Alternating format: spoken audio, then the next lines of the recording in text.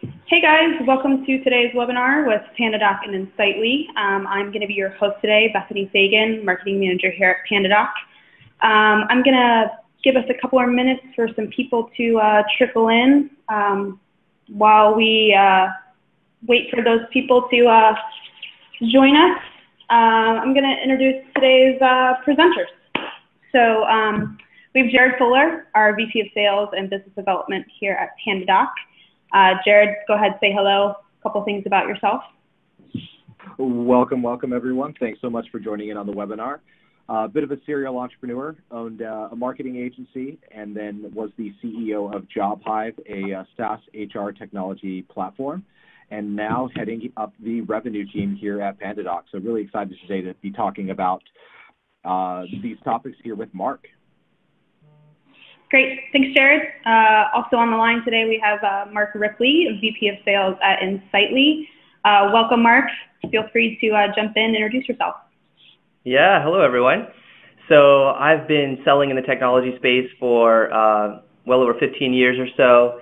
Carried a bag as an AE um, in a number of different companies and really uh, built a strong kind of foundation around high velocity meets high value selling and been leading teams and um, uh, organizations for the last oh, seven or so years.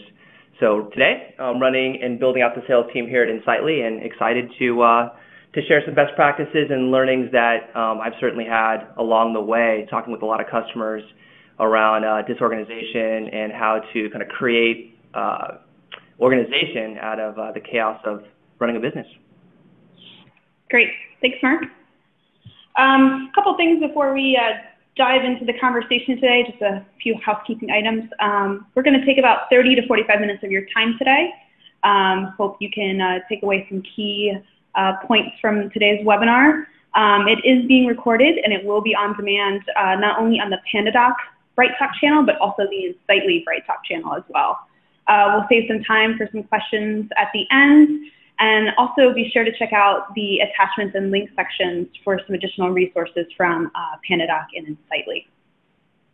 So without further ado, I'm going to hand it over to Mark and uh, we can get started.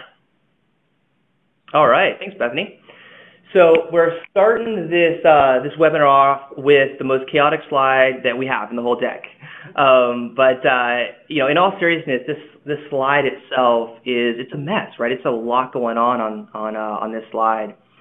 Um, so to kind of take a step back before perhaps your organization got to this step where you're seeing things flying all over the place, when you're one person, two people, three people in your company, and you have a handful of customers, you can manage that in a very straightforward way, right? But the moment that you start to have five employees, 10, 20, hundreds, the world starts to look like this slide. A lot of moving parts all over the place. And the question becomes, okay, how do you, how do you create organization and structure and a systematic process uh, with all these different moving pieces? And I imagine, right, if you mapped out your own uh, organization, how you communicate with customers, it might look very similar to this, right? Um, and you know, my north star is always the customer lens. And so then it's like, what does it feel like from the customer experience side of things, right? A lot of moving parts, probably delays happening here and there, steps getting missed, right? Um, and what we're here today is to really share best practices around how to uh, to change that and ultimately give the customer a better experience, um, and at the end of the day, drive more revenue and help you scale. So, okay, so we're gonna we're gonna take a poll here, and we'll see if we can get the polling system working.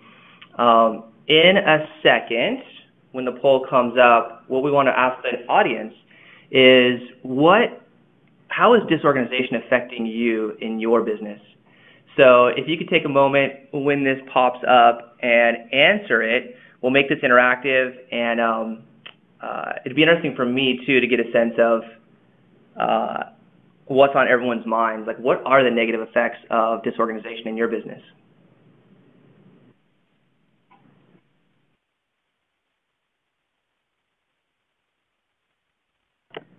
Okay, looks like the poll is live.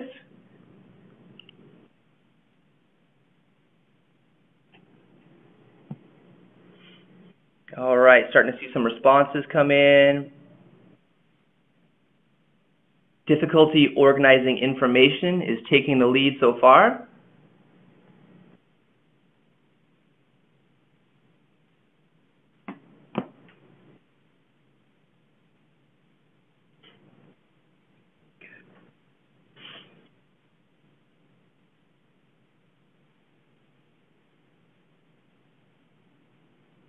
So the top two right now from the audience are difficulty, difficulty organizing information is taking the lead. Number two is difficulty managing clients. Thanks everyone for jumping in and, uh, and doing the poll. We'll keep it open for a few more moments here. This is, this is fantastic. Difficulty collaborating with team members is taking third.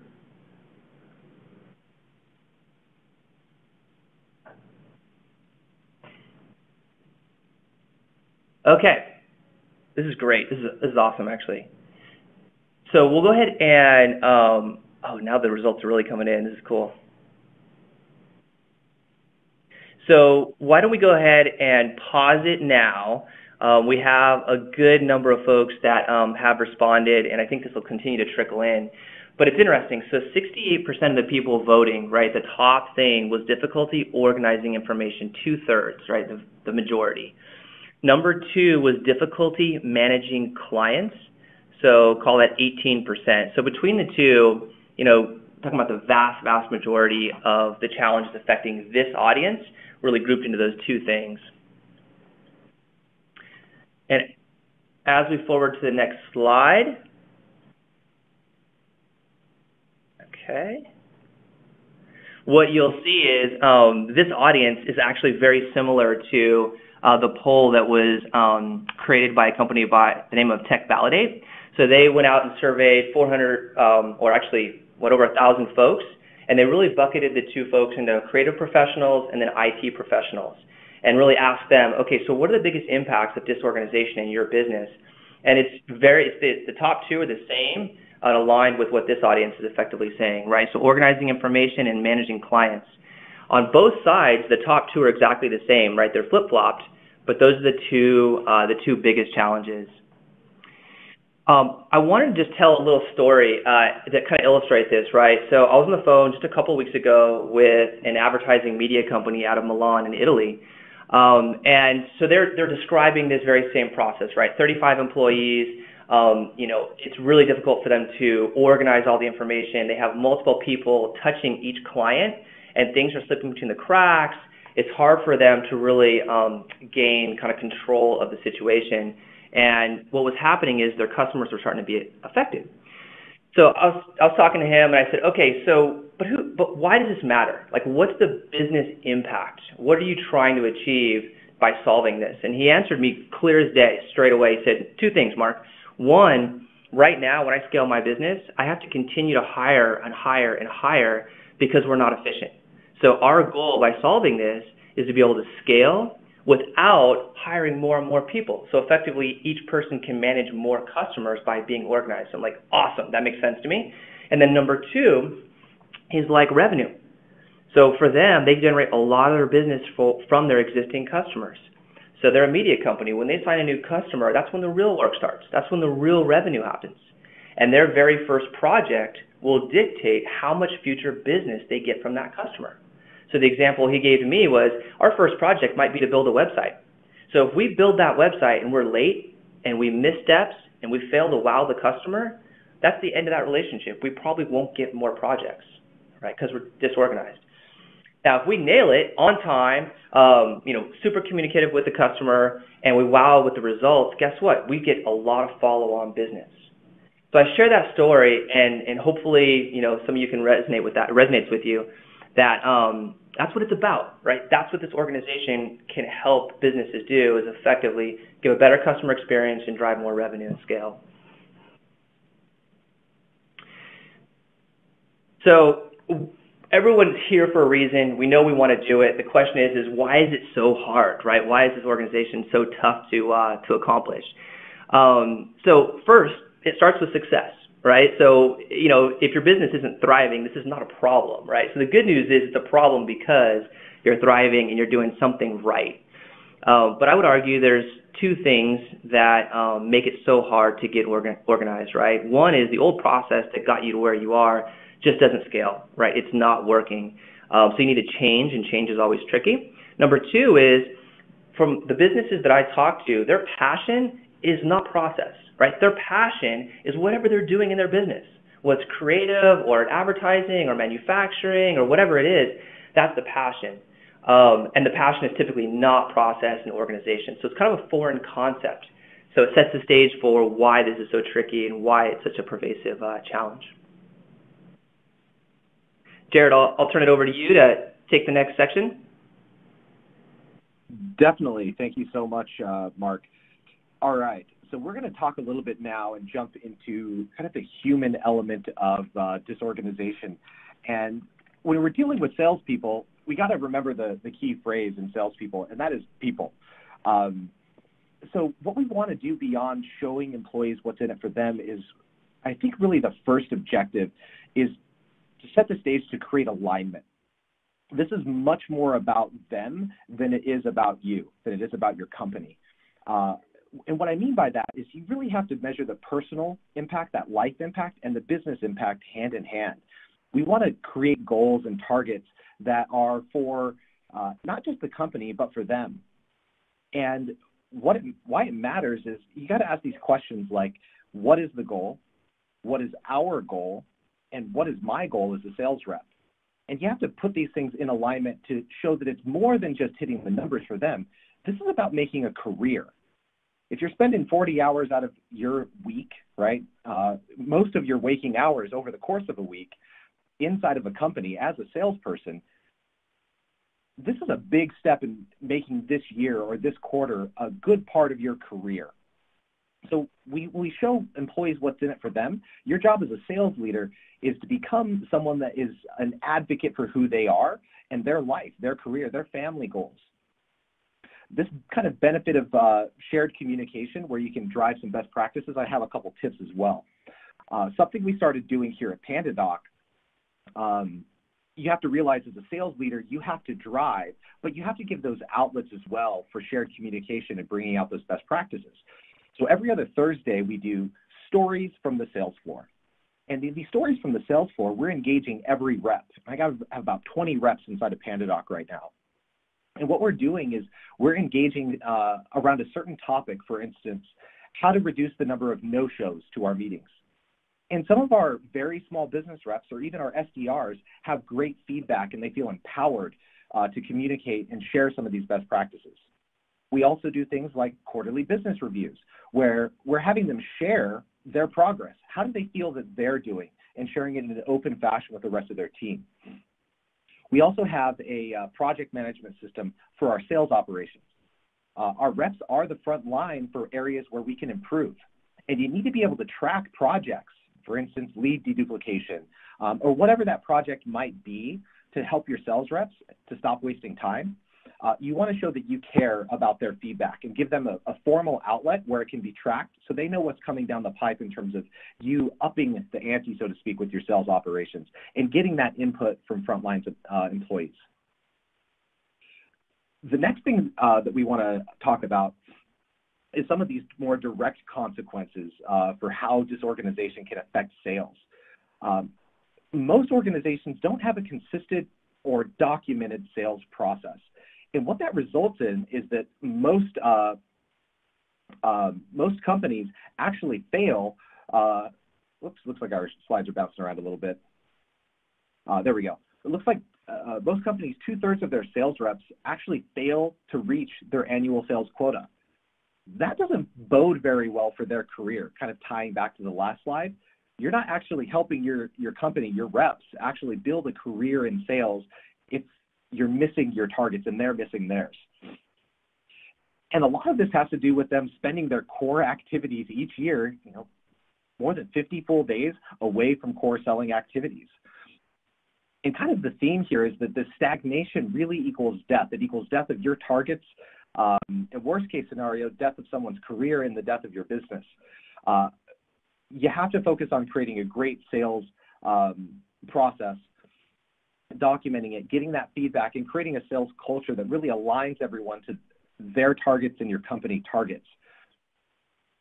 A lot of these sales activities as well, it's about going the extra mile. So 80% of sales occur between that second and fifth call, and sometimes even more. But we know that only 20% of these reps actually even make it ever to the third call.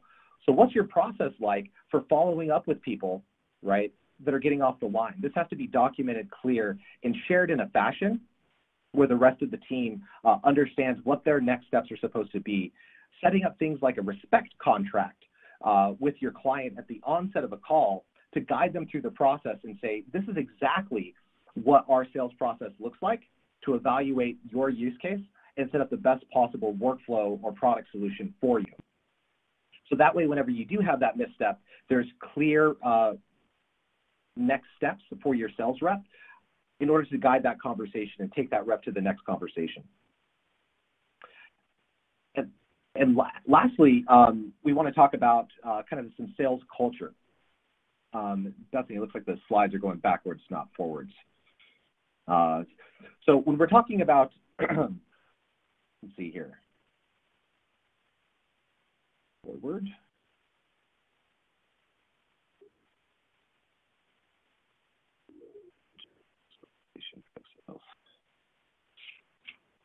All right. There we go. All right. So Mark, I'm going to pass it back off to you to talk about what an what an organized business looks like. Yeah, absolutely. Thanks, Jared. Um, so when I think about an organized business, I think it's I think about whether it's a sales team or a business at large. It's set up for scale, right? At the end of the day, it has systematic processes in place that are repeatable when you bring people on board, whether it's Bob or Jill or Julie doing this thing, it's going to have a consistent experience both from a customer perspective and then also from an internal perspective where you can measure um, whatever they're doing. So I, uh, I use an analogy, um, it's probably overused internally here at Insightly, but it's a good analogy, and that is when I think about an organized business and set up for scale, I think about um, you know a recipe, right? And so it's like baking a cake, and what that cake recipe looks like takes time to figure out, right? But the goal is to ultimately understand exactly what it takes to bake that cake, right? It's two eggs, it's one cup of flour, it's a teaspoon of vanilla, it's, you know, um, a little bit of chocolate, maybe a cup of chocolate, probably have this totally wrong. Uh, you mix it up, you put it in this size pan, you put it in the oven at 300 degrees for 28 minutes, and out pops a perfectly baked, fluffy cake, right? That recipe um, that's what I think about scales, having those recipes down, clearly articulated, everyone's on the same page, and now you can systematically scale. Of course, you're going to evolve that over time, but um, that's the key. So we have a couple of points here on the slide. Um, they're leveraging technology, but they know the process. They have a central place where everyone's on the same page regarding their data and the KPIs that everyone's looking at. So it's organized and focused that way. Um, and they're really driving at building that systematic um, cake recipe and process for baking a cake. There's any bakers out there, probably got that recipe way wrong, but uh, you get the idea, hopefully. So where does it start, right? Um, the process to build an organized internal process, right? Um, there's a lot of steps, but in my mind, there's really um, a very simple way to get started. And this is, Jared mentioned this earlier, whether it's sales goals or organization's goals, is really prioritizing what to tackle first. So in this slide, we take a look at kind of a very um, standard way to look at goals. In this case, it's SMART, so very specific, they're measurable, they're action-oriented, they're realistic, and timely, right? And this is the part that I would argue most people miss is the timely fashion. What are our priorities, what are our goals, and then what's the time frame that we're all going to drive at? Most people are goal oriented. If you give them a specific time to get it done, they'll drive and get it done. Um, you know, Google also made famous another type of way to look at goals called OKRs, objectives and key results. What, however you do it is less relevant. The most important thing is it should start at the top, like Jared was alluding to earlier, and that is whether you're a sales leader, whether you're a CEO of a, of a business, whatever it is, what are the priorities? And the way I do it is by quarter. So what are my top three priorities? I'm going to do a lot of things. What are my top three priorities for this quarter, right? Um, and then everyone that works for me on my team has their top three priorities for the quarter, right? Timely. Their top three priorities will align whenever possible to my top three. And then if you're running a sales organization, you have reps or you have other people, they should have their top three goals for the quarter that should align to their manager and their leader all the way up to the top, right? It's actually a really simple thing to do that's extremely high impact. And you can start to gain alignment and start to gain, um, uh, start to head down the path of creating an organization. You can't tackle everything right away. So going through this process forces you to prioritize and it also gives you calm to know that there's 10 things that I know I need to do to get organized. I'm going to tackle these three. I feel really good about it. I'll tackle three more next quarter and three more the quarter after.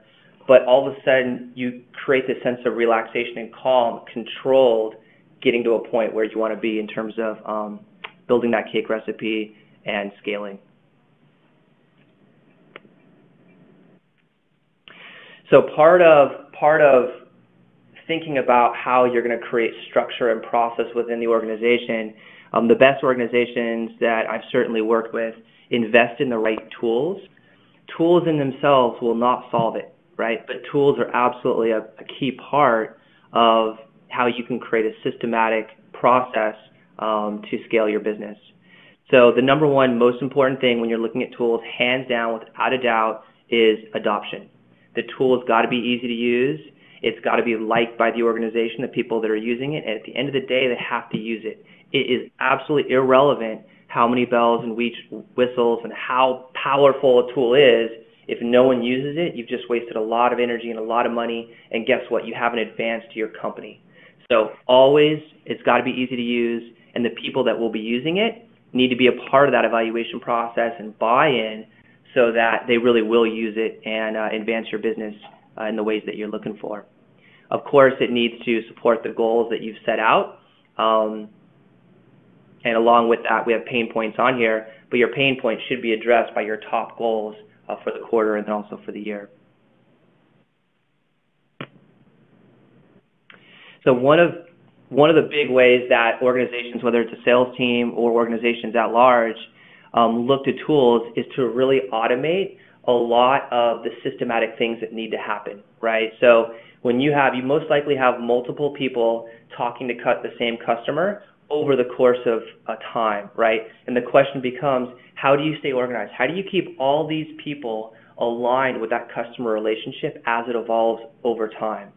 Well, the trick is time, right? You, you need to look to tools to automate a lot of the stuff that you can so that, why? So that you have more time to focus on the high value um, things with customers. And ultimately, you know, the way I look at it is continue to roll out a red carpet for every single customer. Improve that customer experience so that you can continue to generate more and more revenue um, from these customers. I'll pause here and flip it back to you, Jared. All right, appreciate it, Mark. So we're going to jump in now and talk about kind of my theme with talking about the human element. A big part of this is creating a great sales culture.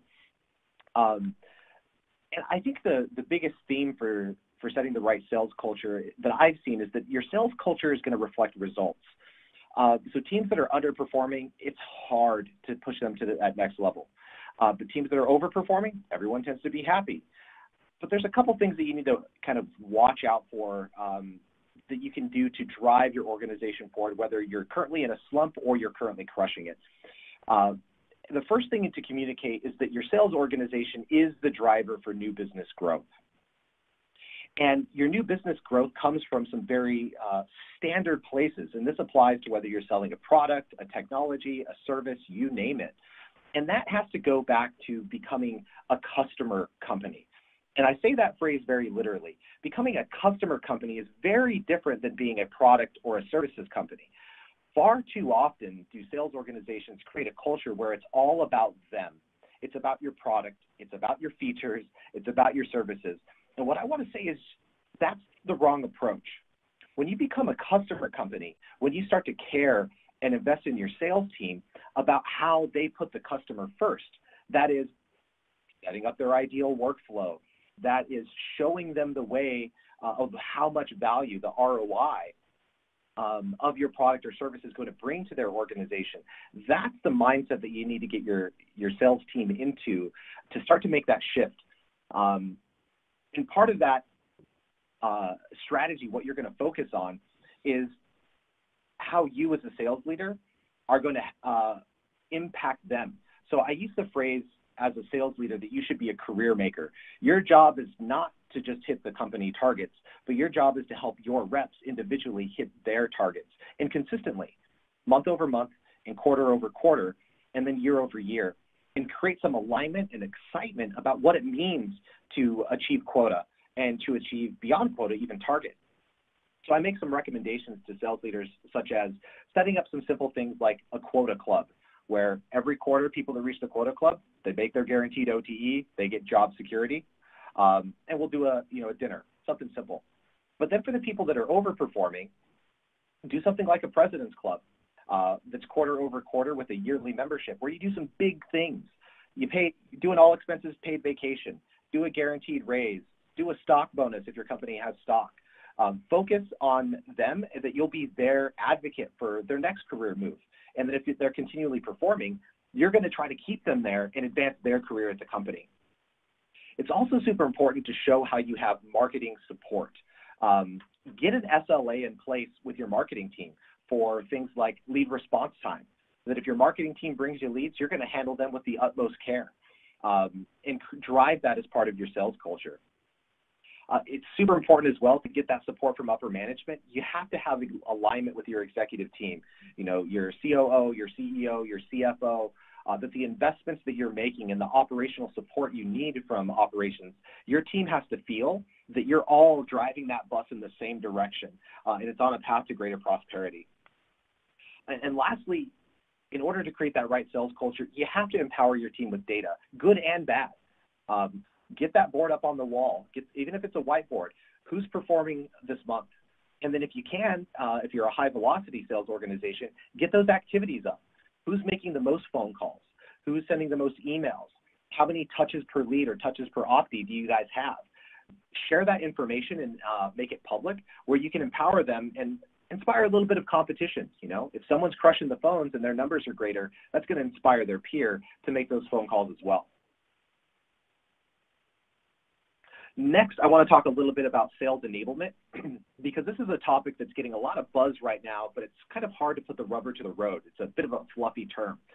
So really, sales enablement to me is uh, the technologies, the tools, the processes, and specifically the content that your team uses to accelerate the sales uh, process.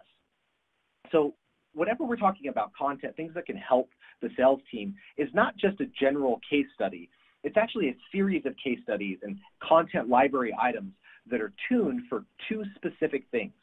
A, the company persona.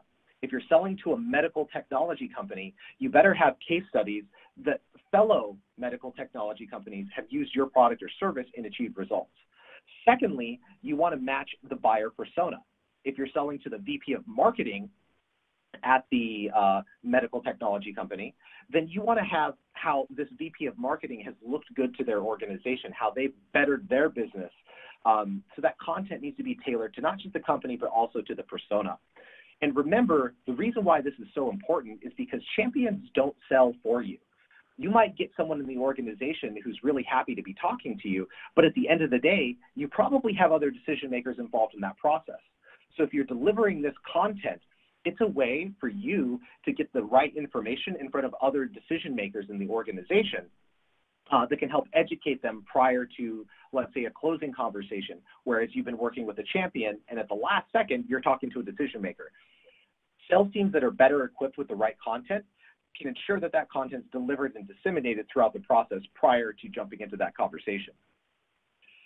You have to ensure effectiveness of this content uh, measure what's being sent, what's being opened over time.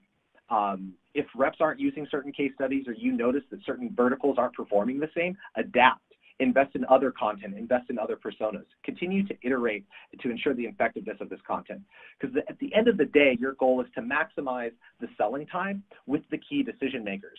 And the more influential your content and the more personalized that content to them, the more time you're going to be able to command of theirs, be it on a phone, a demonstration, a follow-up, a workflow consultation, you name it.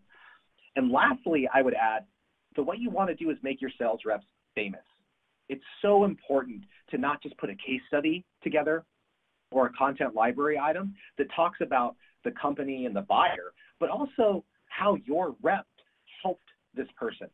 Feel free to name drop in these case studies. This is how Josh helped company X achieve Y results.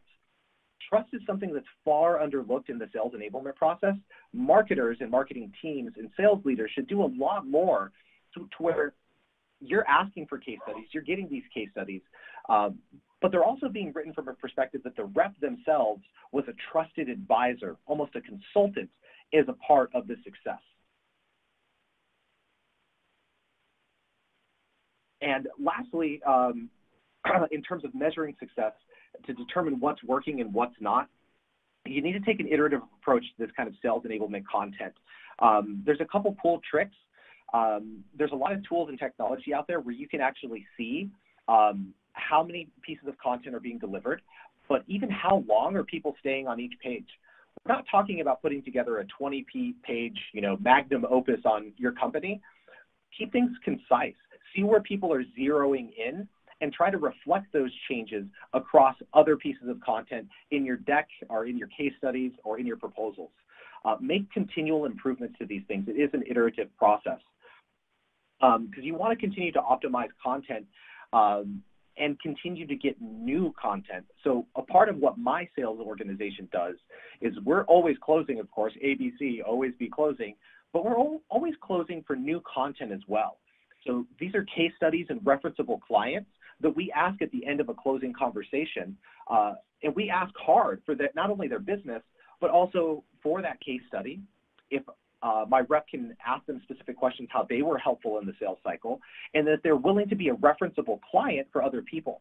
Because if you can say, hey, here's how we sold to medical uh, technology company X and this VP of marketing, and she's willing to get in a conversation with you um, if you'd like to speak with them.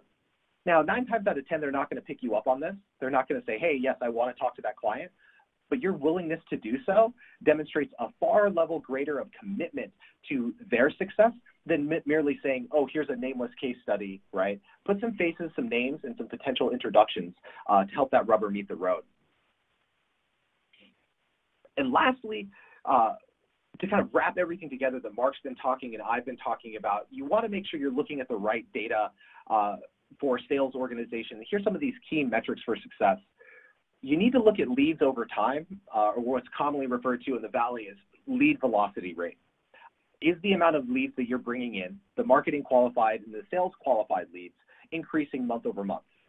Do you have an upward trajectory? Do you have a downward trajectory? Get in alignment with your marketing team on what the, not just how many leads you get per month, but what is that lead velocity rate? That's going to impact your hiring plan, and that's going to impact how many reps you need uh, to have a full, you know, belly month over month. Of course, your marketing team is going to care a lot about lead response time. What's your lead to opportunity conversion ratio? If you have way too many leads at the top of the funnel and you're creating too few opportunities, you might want to back off and focus on quality versus quantity. Uh, of course, things like net new opportunities, um, win rates, but also the win-loss reports. The goal here is to uh, you know, understand the stage of the loss, you want to be able to kill deals earlier in the cycle. Um, so you're not wasting time with deals that end up falling off at stage four when you know it's a bad fit at stage two. The more conversations you have with a lost deal, the more costly that loss ends up becoming. Um, and overall, measure the length of time from you know discovery to closure uh, and so on.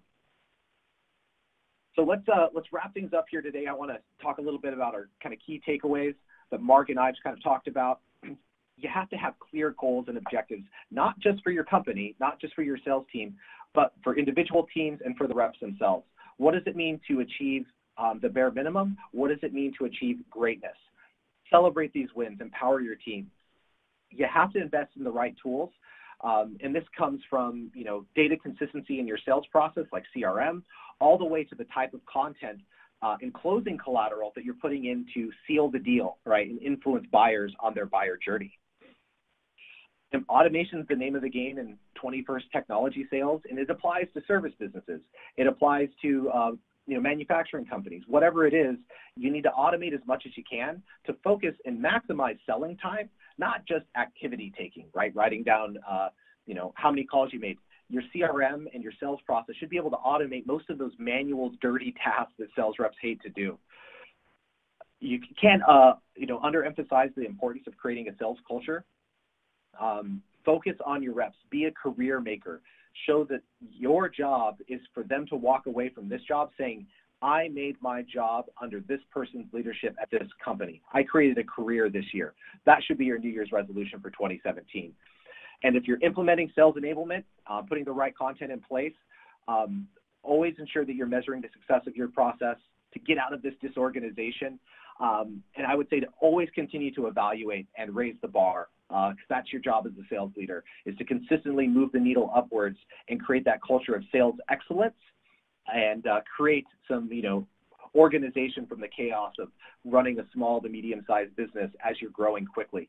Um, so uh, I'm going to wrap it up there. Uh, thank you guys so much for attending the webinar. It sounds like we have a few uh, questions from the audience. Um, so let's uh, jump into some questions.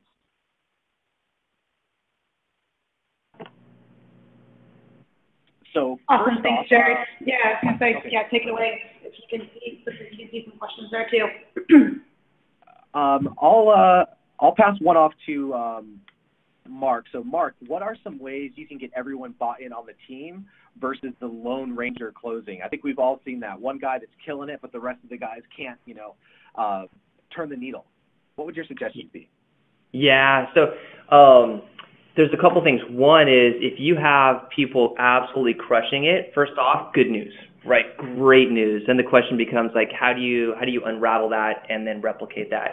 Um, this this question I'm interpreting as um, the age old. You have some people and salespeople, like a lot of them have egos, right? So they're crushing it. They are, you know, the the big dude or dudette uh, on campus, and they're absolutely crushing it. Um, they don't need help right? Um, or even like maybe it's someone that's doing okay or someone struggling, but just not comfortable really um, working with their manager or working with their resources to um, jump into the sales process. So I'll tell you um, one common mistake that I've seen is from sales managers and leaders is um, not promoting um, the reps enough and their success. And this sounds like a really simple thing, but it's amazing how often I've seen it is like when there is a win and the sales manager was involved in it, it's a we won, right? And that's not the case. We did not win, right? Your rep won, your AE won. Really important to constantly um, put them up on the pedestal so that they feel comfortable bringing people in and knowing that it's still their it's still their deal. If they're the quarterback, they're rolling with it. Um, as sales leaders, we are overhead, right? By definition, our roles are really to support the AEs and continue to put them on on pedestals. So that's one thing. And then the other facet um, is, you know, getting to the heart of why. If someone's not comfortable bringing in their manager or bringing in other people into their cycles, there's a reason why. And that reason why is often individual and unique to that person. So I would first look to unravel that, right? So why is, you know, Bill uncomfortable bringing people in and why does he keep wanting to go on, it himself? So if you can figure that out, then you're in a position to solve it. But at the end of the day, um, you know, win together, lose together, but don't lose alone, right? That's that's really the message. Definitely, I think uh, you know teamwork makes the dream work, and the more you can do to you know get those best practices out in the open and document, um, I think this kind of goes into the next question as well. Um, there's actually three things you need to do uh, that I believe. So I'll, I'll, say these three things and I'll dive into each one. Uh, this answers the other question. How do you keep sales teams using the right content?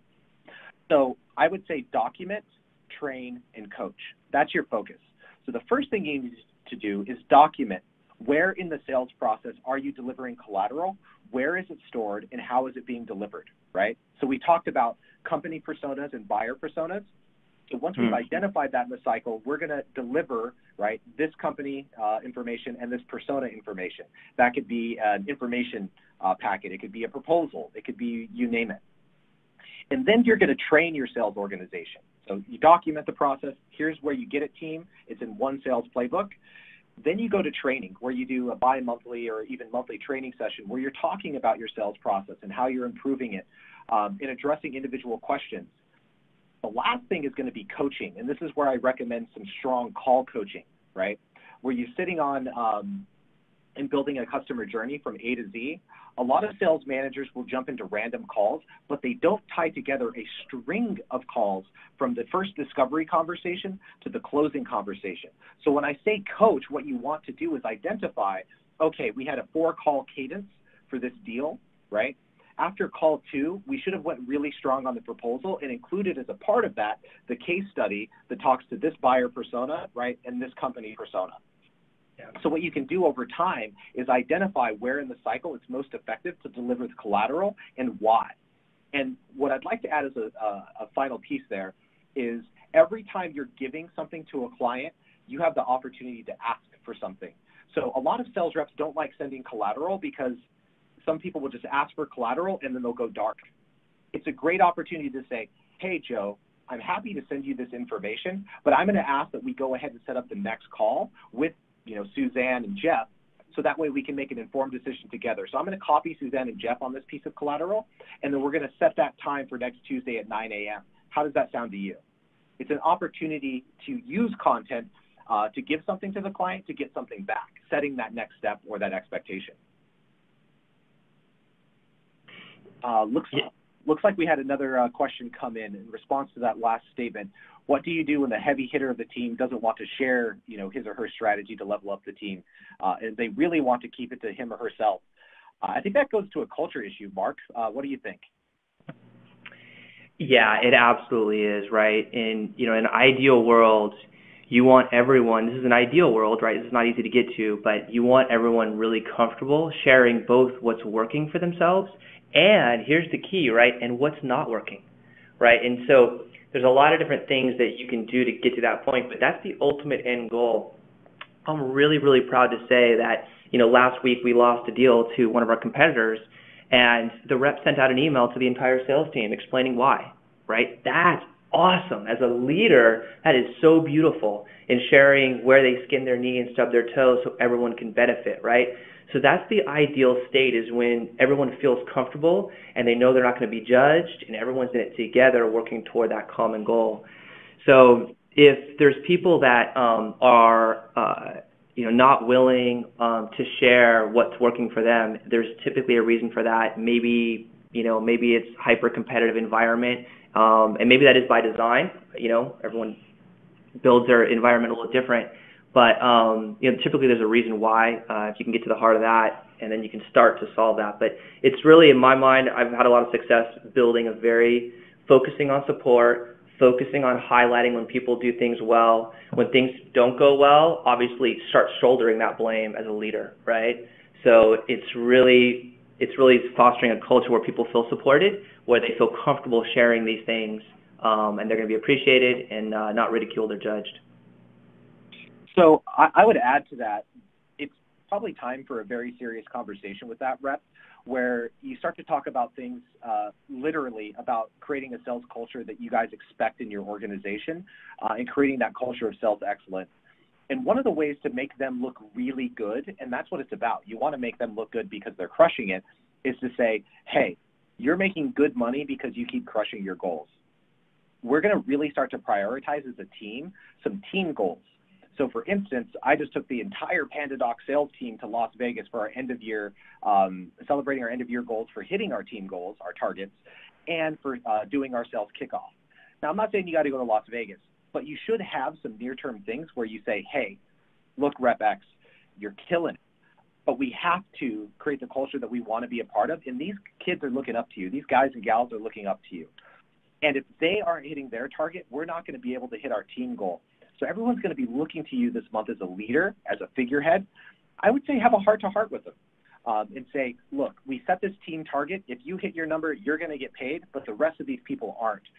Let's bring out the culture that we want and not just focus on your number, but let's focus on that team number and incentivize them. Put a perk on top of it. If we hit our team goals this quarter, you know, and you're a big part of that, I'm going to do X for you.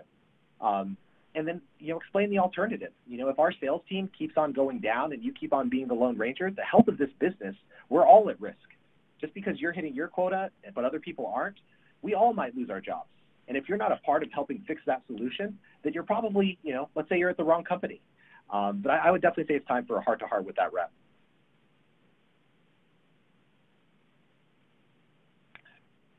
Great. Uh, I'm not seeing any other questions. Bethany, did we have uh, anything else?